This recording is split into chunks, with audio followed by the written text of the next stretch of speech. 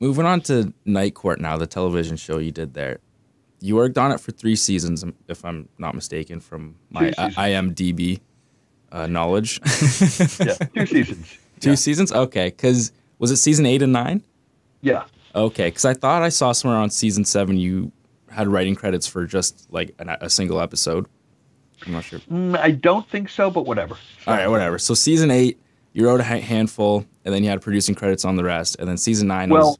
I first of all, what happened was, so after I had worked on virtually every late night sketch comedy show and every knockoff of Saturday Night Live, I had run out of, of shows to work on, so I had to get into sitcoms.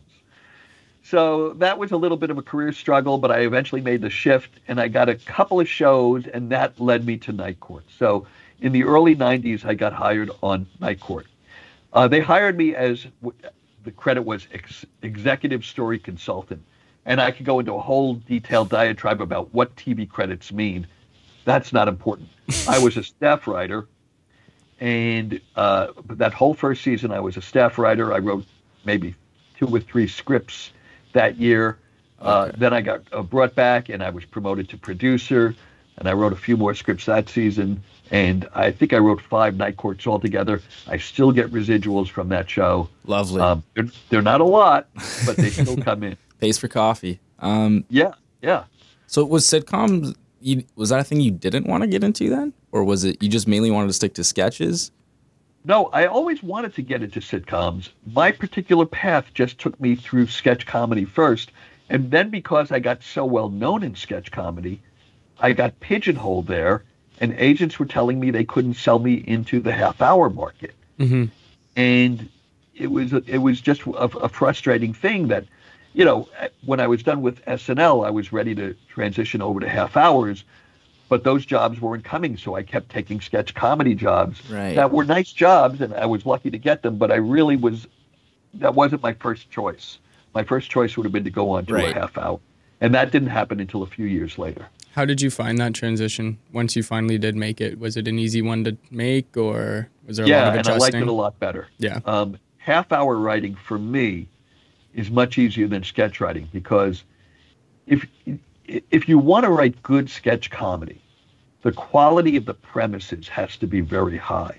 We're not talking about hee haw or some you know mid-level sketch comedy show that thinks it's funny, but it's not. If you're writing at SNL level or Friday's level or something like that. You have to come up with really good premises. And that is hard. Writing the actual sketch is not as hard as coming up with the premises. And so that that would literally drive you crazy because it's all you could think about. You were constantly searching for the next great premise. Right. Mm-hmm. Once I got into half hours, you were only responsible for coming up with a handful of stories a season. So you had more time to develop stories and try to come up with unique stories. Right. And then you'd write them for, you know, it'd take a couple of weeks to write a script. And then between scripts, you just did your staff work, which was working in the writer's room, helping rewrite other people's scripts. Mm-hmm. So the pressure, even though the hours were just as long, the pressure was much less intense, and mm-hmm. I liked that better. Because the audience going into watching an episode of Saturday Night Live expecting something new, fresh they haven't seen, whereas when they go to Night Court, they kind of know what they're getting into exactly. if they've already seen an episode or so. So the storyline's right. already there, whereas SNL right. are just looking for something's going right. to knock, knock that, their socks off. That's even true today, even though I think that half-hour comedy has is significantly more sophisticated than it was in the 90s. Mm-hmm. But people still tune in because they like the characters and they like the the relative premise of the series. So they're not as aware of the individual story episode or episodic storytelling narrative, but the writers are. And you know, you really put a tremendous amount of work into getting the story right. I think a lot of people who just are, are casual consumers of television don't realize how much work goes into crafting those stories. Even the people that are heavy into television don't realize it. They just watch it all the time, like me. Do you think that like now 30 minute television is more sophisticated because it's almost like a science it's been going on and being done for so long or is it because yes. the level of comedy or the um, components to it have been more refined rather than just it getting older well it's both both it's both it's because because the time has has passed, like cars have gotten more sophisticated and planes have gotten more sophisticated, mm-hmm. and you know everything gets more sophisticated. Entertainment has gotten more sophisticated. If you go back and look at what was entertaining audiences in the 1920s and 30s, you know it was like uh, a junior high school play comp- compared to what people do now. Right. Mm-hmm. And by the way, in 20 years, what we're looking at now will seem less sophisticated mm-hmm. than what we're looking at then.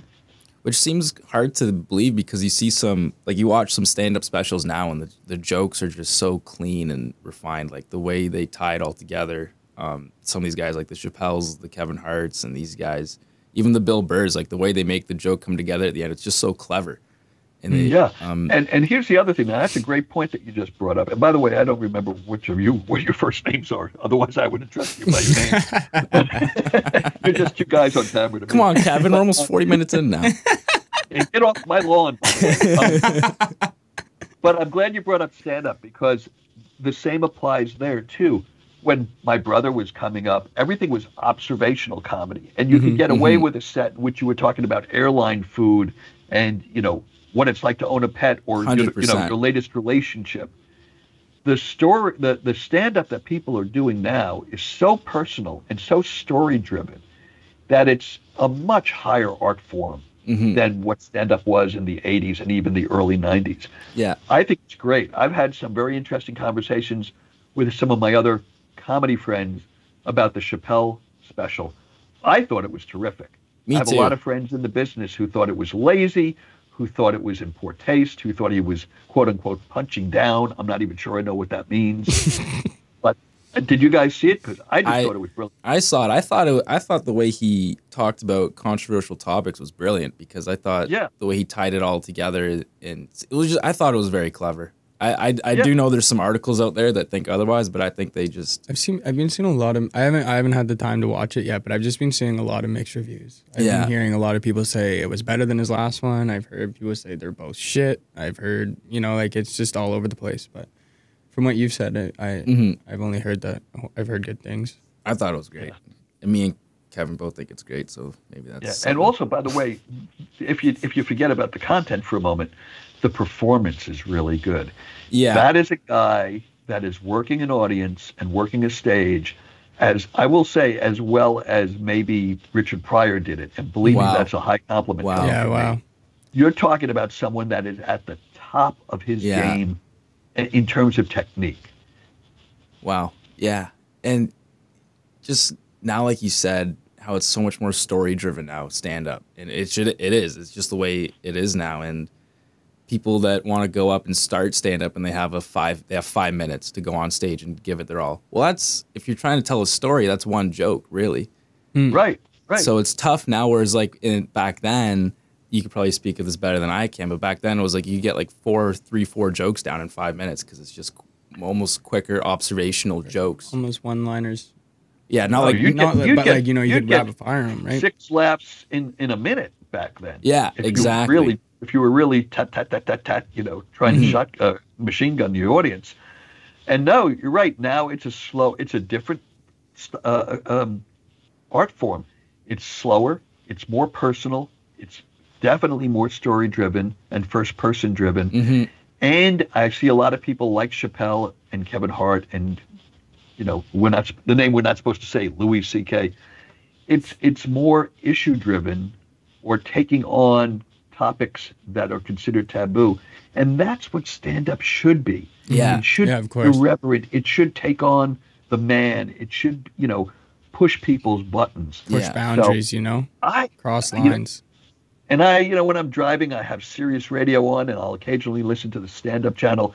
And I'm just amazed at the, the quality of, of stand up today compared to what we thought was real quality right. back in the 80s.